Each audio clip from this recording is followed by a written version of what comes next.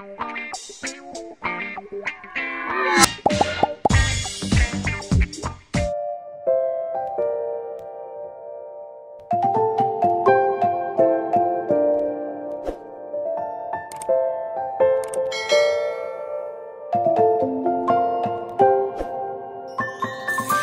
many places still undiscovered But you're stuck in a blast